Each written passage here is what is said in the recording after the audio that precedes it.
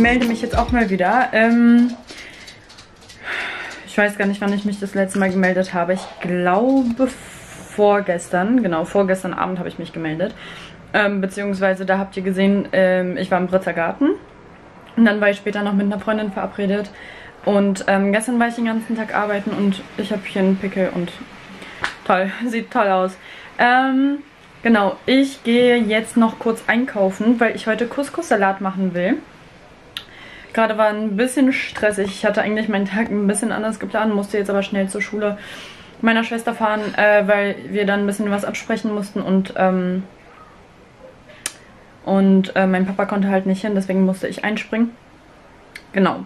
Und äh, jetzt gehe ich kurz einkaufen und mache dann den Couscous-Salat und dann muss ich mich ein bisschen ähm, beeilen, weil ich noch ein bisschen was zu tun habe am Laptop. Aber ich um 15.30 Uhr los muss, weil ich nämlich einen Brust-OP-Termin habe. Also nein, ich kriege heute nicht meine Brüste gemacht, aber ähm, ich werde einen Beratungstermin haben. Und genau, da wollte ich einfach mal offen und ehrlich mit euch sein. Ich ähm, möchte unbedingt eine Brust-OP unternehmen. Heißt es so? Keine Ahnung. Auf jeden Fall ähm, werde ich dazu aber danach mehr sagen, nach dem Termin. Ich bin super, super gespannt. So, Leute, ich bin wieder zurück. Aber aus... Meine Augenbrauen sind so unterschiedlich dick. Toll. aus meinem Brust-OP-Termin, also aus meinem Beratungstermin, wurde nichts. Ich wurde einfach kurz bevor ich angekommen bin, angerufen, dass der Chirurg noch in der OP ist und das bis zu drei Stunden dauern kann. Weshalb ich nicht da war. Ist halt super ärgerlich, weil ich jetzt mindestens eine Woche warten muss, bis ich dort an... Also ich muss noch eine Woche warten, bis ich dort anrufen und einen Termin machen kann. Und dann muss ich ja auch nochmal warten, bis ich den nächsten Termin bekomme, was suboptimal ist. Aber egal, ist halt so. Ich glaube, ich habe auf dem Rückweg Capital Bra getroffen. Ich bin mir zu 95% sicher, aber ihr wisst, Internet und Real Life ist halt immer was anderes, aber ich bin mir sehr, sehr sicher, dass er das war. Der ist einfach an mir vorbeigelaufen. Ähm, war auf jeden Fall sehr interessant. Äh, und dann war ich kurz bei einer Freundin direkt, weil ich ihr ein bisschen von meinem Couscous-Salat vorbeibringen wollte. Und ich habe ihr die Maske, die ihr in meinem letzten Video gesehen habt, äh, vorbeigebracht, weil sie mir in den Kommentaren geschrieben hat, lass sie zusammen ausprobieren. Und dann dachte ich, sie würde sich freuen, wenn ich sie ihr bringen würde. Ähm, deswegen habe ich das gemacht. Und jetzt sitze ich hier, habe mir einen Trinkjoghurt genommen. Meine Flasche Wasser, weil ich heute vergessen habe zu trinken. Das muss ich heute im Laufe des Abends auf jeden Fall nachholen. Einen Kaffee und einen Tee. Also ich bin ausgestattet äh, und setze mich jetzt weiter an mein Video bis 20 Uhr. Und dann ähm, werde ich noch eine Stunde meinen Text lernen für ein Projekt. Und dann ähm, denke ich mal eine Stunde an einem zweiten ganz coolen Projekt arbeiten. Ich werde euch Erst wenn das Datum feststeht, werde ich euch sagen, worum es sich dabei handelt. Aber ihr könnt auf jeden Fall gespannt sein.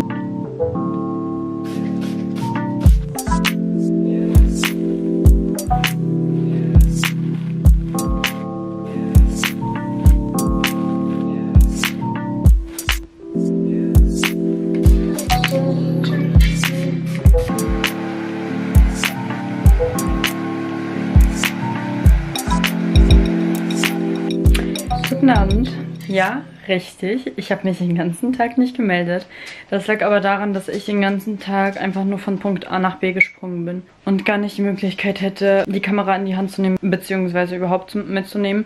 Ich war heute Morgen bei einer Wohnungsbesichtigung. Ich habe mir zwei Wohnungen tatsächlich angeguckt, aber beide sind in Marzahn. Und die eine war sogar ganz schön, aber the problem ist halt, es ist Marzahn. Und das ist halt überhaupt nicht die Richtung, in die ich gehen wollte. Genau, und dann war ich heute noch beim Sport, war wieder im Solarium. Dann war ich kurz bei Jessie, bei meiner besten Freundin, weil die jetzt renoviert haben und der Garten fertiggestellt wurde. Und da wollte ich mir mal ähm, den Garten mal angucken. Genau, bin jetzt seit einer Weile zu Hause. Ich habe gegessen, ich habe auch schon für morgen gekocht. Ich habe diesmal Quinoa-Salat mit Tomate, Avocado und Gurke gemacht. Ich bin jetzt dabei, mich fertig zu machen, wie ihr wahrscheinlich seht. Heute habe ich eine, ähm, ja, was heißt die Vorortveranstaltung? Das ist schon der Beginn des Kurses, den wir auch im Semester direkt weiterführen werden. Und der geht einfach laut Plan von 10 bis 17 Uhr. My Struggle ist jetzt aber, also was heißt mein Struggle? Leute, es ist eine Vorortveranstaltung. Heißt, ich werde das erste Mal meine Kommilitonen kennenlernen. And first of all, I don't know if I'm ready to do that. Second of all, ähm, ich glaube, so richtig mit kennenlernen wird sowieso nichts, weil wir haben vor einigen Tagen eine Mail bekommen, dass wir jetzt auch im Unterricht unsere Maske tragen müssen. Wegen der steigenden Corona-Zahlen. Und wie will man jemanden mit Maske kennenlernen? Und mit Sicherheitsabstand. Und das wird ein sehr unangenehmes Semester, glaube ich. Ähm, frage ich mich, wie ich heute irgendwas mit meinem mit meinen Haaren anfangen soll, weil ähm, die haben heute absolut keinen Bock. Dann kommt noch dazu, dass ich absolut schlecht geschlafen habe. Ich habe irgendwie von Naomi Johns Katzen geträumt und dass die eine sterben musste, also beziehungsweise kurz vorm Sterben war, weil sie sehr fett und sehr krank und so weiter war. Ähm, don't ask me, warum ich sowas träume. I don't know. Aber es war sehr unangenehm. Ich bin mitten in der Nacht heulend aufgewacht. Und es war echt nicht cute. Ich schlaues Kind habe irgendwie auch nicht dran gedacht, mal gestern schon zu gucken, wann ich heute los muss. Aber ich habe bis 6.30 Uhr geschlafen. Um dann festzustellen, dass ich um 8 los muss. Und I'm not okay with this. Weil jetzt muss ich mich beeilen. Und wenn ich mich jetzt beeile, dann verkacke ich alles an meinem Make-up gerade. I don't wanna feel cute because you know I'm gonna meet some people there. Und langsam realisiere ich, dass immer wenn ich nervös oder unter Druck bin oder so, ich anfange sehr viel Englisch zu sprechen. Ich liebe diesen Stift übrigens. Das ist so ein, der Kyliner, Kyliner von Marc Jacobs oder der Highliner. Irgendwie sowas. Ich bin richtig aufgeregt, Leute. Guten Abend, Leute. I am so sorry. Aber ich wollte mich heute Abend eigentlich gar nicht mehr melden. Aber ich dachte, komm, irgendwie solltest du ja doch die Wirklichkeit zeigen und das ist die Wirklichkeit. Heute war mein erster Unitag, also was heißt der erste Unitag? Ich hatte heute meine Veranstaltung von 10 bis 17 Uhr und eigentlich wollte ich euch noch mein Outfit of the Day zeigen, weil ich den heute Abend, äh, heute Morgen vergessen habe. Aber meine Laune ist so in den Keller gefallen, dass ich einfach nicht die Kraft hatte, die Kamera in die Hand zu nehmen und so zu tun, als wäre ich gerade voll happy und würde euch mein Outfit of the Day zeigen. Nein, Leute, so läuft das einfach nicht. Also Uni war okay, es war halt erschöpfend und ich glaube, das war im Endeffekt der Auslöser, warum ich einige Sachen einfach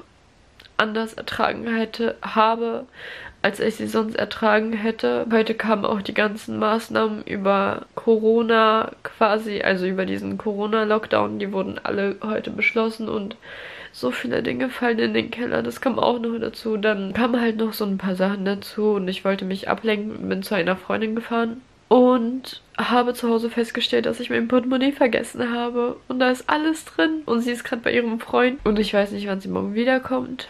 Und sie schreibt mir gerade auch nicht zurück. Heißt, ich weiß nicht, ob ich morgen mein Portemonnaie zurückbekomme. Ich brauche es aber. Ich wollte wirklich mich heute Abend nicht mehr melden.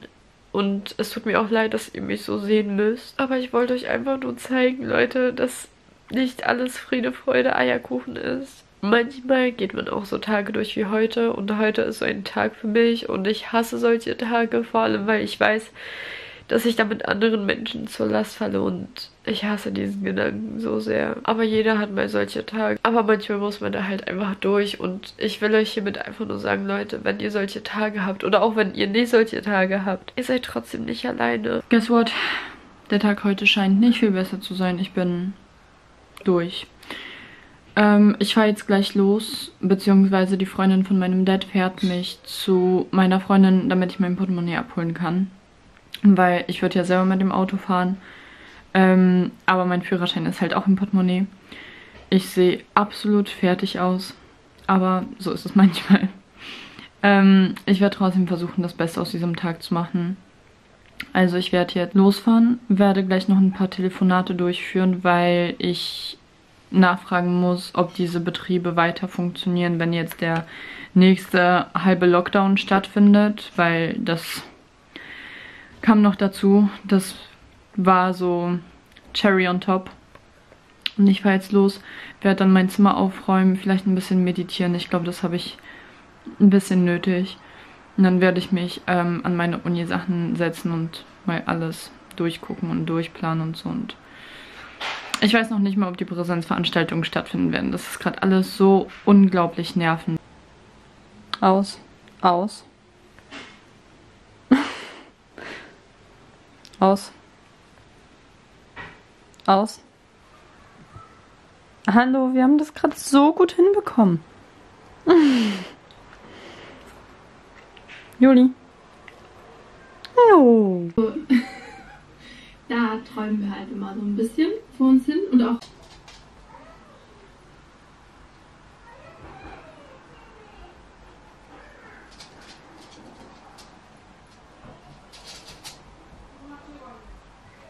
Leute. Ja, ich habe jetzt ähm, meditiert in Form von Schlafen. Äh, mein Rucksack ist angekommen. Ich habe den bei Kleiderkreise gekauft, weil, ähm, I'm sorry, aber ich sehe es nicht ein, für so einen Rucksack so viel Geld auszugeben. Ähm, und das ist genau die Größe, die ich wollte. Ich bin voll happy und der sieht auch voll gut aus. Also ich habe jetzt 35 Euro dafür gezahlt, plus Versandkosten. Und der hat einfach so eine gute, also der ist richtig gut erhalten. Bin ich voll happy mit. So Leute, ich habe mich jetzt mal zusammengerafft und äh, koche jetzt für morgen, weil ich morgen den ganzen Tag unterwegs bin und damit ich unterwegs was habe. Und räume jetzt in der Zwischenzeit, während alles kocht, wieder mein Zimmer auf, weil ich weiß nicht, wie das passiert. Aber es ist einfach wieder unordentlich. Leute, ich habe nichts gemacht heute. Also wirklich gar nichts. Guten Morgen.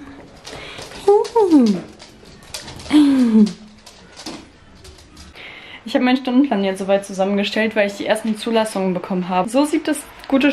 Huch. So sieht das jetzt im Moment aus. Ich kann euch ja mal sagen, wie ich das koordiniert habe. Und zwar geht es darum, ich habe das nochmal aufgeschrieben, weil ich habe das zwar alles online, aber ich finde das relativ unübersichtlich, weil ich da nicht ähm, weiß, was für eine Veranstaltung jetzt zu welchem Fach gehört, also ob es zu Germanistik oder Geschichte gehört. Und weil da, ich habe ja so ein ähm, Grundkompetenzmodul noch belegt und der war ja jetzt auch noch am Mittwoch und am Donnerstag und das ist jetzt nicht weggegangen, heißt die Blöcke sind ein bisschen verschoben und so. Und zwar ähm, ist der Montag bei mir komplett frei. Dann habe ich die mit Bleistift markiert sind. Da ist noch nicht bestätigt, dass ich angenommen wurde. Ich, wurde, ich bin bis jetzt immer noch nur angemeldet. Ob ich zugelassen werde oder nicht, ist halt die Frage. Das ist eine Übung, also ich gehe mal stark davon aus, dass die danach urteilen werden, wer halt mitmacht und wer dabei ist. Und ich das dann erst am Dienstag oder innerhalb der nächsten Woche halt erfahren werde. Aber da muss ich dann auf jeden Fall dabei sein. And the problem is, dass das online stattfindet und unmittelbar danach ich vor Ort eine Veranstaltung habe. Und das heißt, ich muss hierfür schon vor Ort sein, um das zu machen. Und die fängt um 8 an und ich fahre eineinhalb Stunden zur Uni. Heißt, ich werde um 6.30 Uhr los müssen und ich freue mich jetzt schon unglaublich drauf. Und dann, das hier ist eine Online-Vorlesung und zu Vorlesungen wird man eigentlich immer angenommen. Deswegen gehe ich jetzt mal stark von aus, dass ich da angenommen werde. Dann habe ich hier die beiden. Da ist auch wieder so in etwa das Ding. Also die einzige Ausnahme wird jetzt nächste Woche sein. Da wird das online sein. Und das ist auch online. Aber ähm, sonst normalerweise ist es dann so, dass ich hier das vor Ort habe und das online heißt, ich werde dafür auch in der Uni sein müssen. Aber den Rest des Tages habe ich dann zum Glück frei. Also ich bin dann um 11.30 Uhr ungefähr zu Hause. Heißt, ich habe dann noch den ganzen Tag vor mir. Donnerstag sieht soweit ganz entspannt aus. Also dafür wurde ich ja zugelassen. Ähm, das ist auch online und dann muss ich nur für die zwei Veranstaltungen, die fangen um 14 Uhr an, also muss ich um 12.30 Uhr los. Also, okay, ist doch nicht so entspannt, weil ich werde dann erst 19.30 Uhr, circa 20 Uhr zu Hause sein. Aber die zwei Veranstaltungen habe ich dann. Und Freitag ist aber sehr entspannt, da habe ich sehr viel Wert drauf gelegt, dass ich nur eine Veranstaltung habe, beziehungsweise dass ich sehr früh Schluss habe. Und die ist auch noch online, also, ähm, ja, die werden mich halt ein bisschen killen, die Tage. Aber dann habe ich dafür Montag und Freitag. Also ich habe dann halt quasi ein verlängertes Wochenende. Was wirklich sehr entspannt ist. Wenn ich arbeiten würde, würde ich montags arbeiten, wahrscheinlich den ganzen Tag und mittwochs den halben. Leute, ich bin gerade von der Arbeit gekommen und mein Paket ist angekommen von Rebuy und irgendwie war es letztes Mal äh, kleiner. Deswegen, ich weiß nicht, was hier los ist. Ehrlich gesagt habe ich gehofft, dass mein, dass mein H&M-Paket heute auch ankommt. Offensichtlich nicht. Hier ist das gute Teil. Ich habe mein MacBook wieder, nachdem ich es nur ein paar Tage hatte. Und dann mal gucken, ob die da irgendwie jetzt... Ich hoffe halt einfach nur, dass die jetzt nicht einfach das System-Update rausgenommen haben und gesagt haben, ja, okay, wir haben es erledigt. Sondern dass ich das System-Update einfach ganz normal weiter installieren kann. Okay, also soweit sieht es so aus, als würde mein Laptop funktionieren, was schon mal gut ist. Und soweit sieht es auch so aus, als würde ich auch meinen Job behalten können, soweit. Äh, inwieweit es eingeschränkt wird, werden wir dann sehen. Aber soweit waren das ganz gute Nachrichten. Ähm, ich wurde jetzt auch noch zu einem zusätzlichen Kurs zugelassen. Ähm, also fehlen mir jetzt noch zwei Kurse insgesamt. Und übrigens, Leute, ich bin heute ganz Oh, hi. Hallo. Ich bin heute komplett im H&M-Style angezogen. Das wollte ich euch mal kurz zeigen. Ähm, und zwar geht es mir nicht um den Pulli, der ist schon etwas älter und ich glaube, den hat auch jeder Zweite. Der ist auch gar nicht so wichtig. Ich wollte euch eigentlich die Hose zeigen, weil ich nämlich, weil ich nämlich in einem meiner letzten Videos eigentlich ein H&M-Haul abgedreht habe. Das alles aber irgendwie so chaotisch war, dass es voll sinnlos war, den, das, also diese Sequenz hochzuladen und damit war halt der H&M-Heul hin. Die Hose, die habe ich zum ersten Mal an. Ich finde die eigentlich ganz nice. Ich mag die Farbe eigentlich ganz, dass die hier so ein bisschen aufgeraut ist, dass die Beine nicht so... Ähm, die werde ich euch mal in der Infobox verlinken. Den Pulli, ja, ich denke mal jeder Zweite hat diesen Pulli. Den gibt es auch noch so als Rollkragenform. Ich weiß auch gar nicht, ob es den überhaupt noch gibt. Die Kette ist auch von H&M. Also ich bin heute wirklich komplett H&M-Style angezogen. Ähm, aber die Hose werde ich euch auf jeden Fall... Sogar der Gürtel ist von H&M. Oh mein Gott. Aber die Hose werde ich euch auf jeden Fall verlinken, weil die sogar relativ neu ist. Und an dieser Stelle würde ich sagen, verabschiede ich mich. Es war mal wieder kein mega spannender, aufregender Vlog. I am so sorry. Jetzt kommt halt einfach ganz viel Background-Stress damit würde ich sagen, beende ich dieses Video an dieser Stelle. Ich hoffe sehr, es hat euch gefallen. Wenn ja, würde ich mich sehr über Unterstützung in jeglicher Form freuen. Momentan kann man ja gar nicht mehr genau sagen, so ja, gebt mal bitte einen Daumen nach oben und da freue ich mich drüber. Ähm, jetzt funktionieren die Algorithmen ja ein bisschen anders. Deswegen teilt das Video sehr gerne mit euren Freunden, Verwandten, Hunden, Katzen, was auch immer. Ähm, Schreibt mir unten in die Kommentare, was ihr noch gerne sehen wollen würdet. Ich werde ab nächster Woche auch anfangen zu planen, was ich außerhalb der Vlogs noch für Videos machen kann. Ich habe da nämlich ein paar coole Ideen und ich würde die aber gerne mal aufschreiben, damit ich nicht vergesse und gut umsetzen kann. Und dieses Video wird auch schon viel zu lang. Wie gesagt, unterstützt mich gerne in jeglicher Form. Ich freue mich über alles mögliche. Hauptsache, ich weiß, dass euch die Videos gefallen ähm, dann habe ich natürlich umso mehr Spaß, sie für euch zu produzieren. Und dann würde ich sagen, sehen wir uns nächste Woche zu einem neuen Video wieder. Tschüssi!